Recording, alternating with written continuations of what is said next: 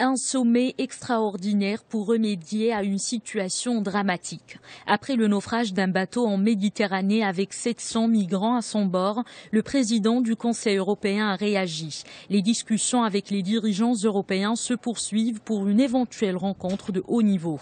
Si Bruxelles parle d'une réunion d'urgence sans préciser la date, le Premier ministre italien réclame un sommet européen d'urgence, de préférence avant la fin de la semaine prochaine. Ce matin, les traversées désespérées en Méditerranée sont à l'ordre du jour de la réunion des ministres des Affaires étrangères de l'Union européenne.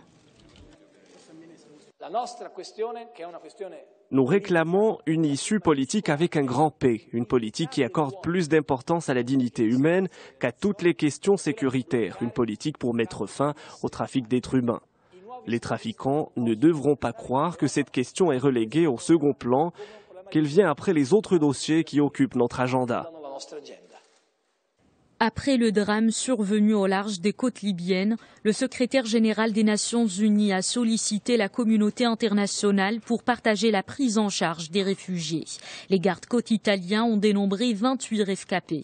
À Catane, la deuxième plus grande ville de Sicile, des voix appellent l'Europe à assumer sa responsabilité.